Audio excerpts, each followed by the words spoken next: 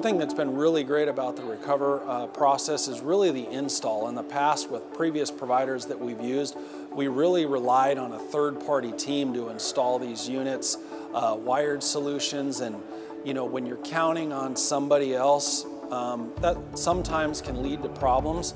With the RecovR, it's something that we can install quickly, easily on our own, and we can make sure that the, the unit is installed correctly and it works and we know that it's right and we don't have to rely on the word of somebody else. So from a cost standpoint, it's just much more competitive. It's not a fixed cost. If a customer elects not to take advantage of the product, you know, that's great. We, we don't have to worry about drive off, which is obviously has some financial impact to our operation.